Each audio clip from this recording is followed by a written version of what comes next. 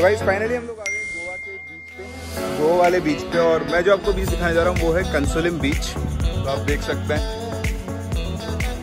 बिल्कुल, ये साउथ गोवा है। और एक्चुअली ये बीच इतना हैपनिंग तो नहीं है बट स्टिल ब्यूटी बहुत है इस बीच पे। तो वो मैं आपको दिखाता हूँ, देखें।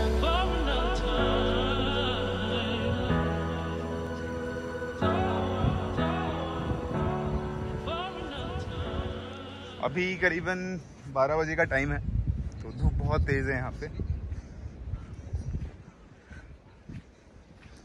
बट शाम को यहाँ पे बहुत इंजॉय कर सकते हैं। व्यू बहुत अच्छा है, बहुत ही अच्छा व्यू आप देखें।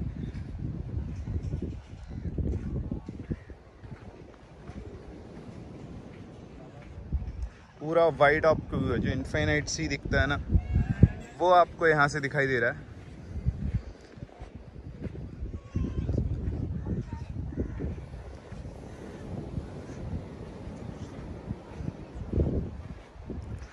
बहुत थोड़े बहुत लोग हैं यहाँ पे।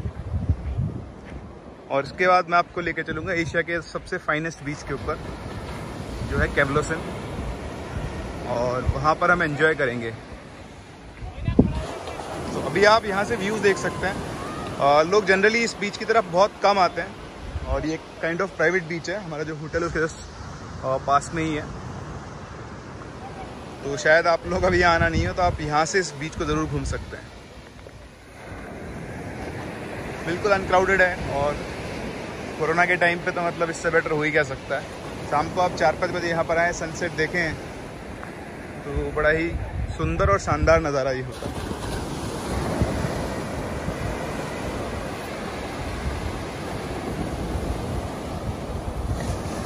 और अब देखें प्रशा एंजॉय करने जाने वाली है प्रिशा चलो जाओ